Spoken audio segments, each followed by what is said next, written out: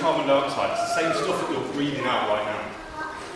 And in here, it's bubbling.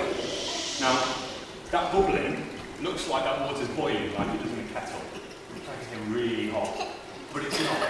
It's actually really cold. I can dip my hand into there, and it's really cold.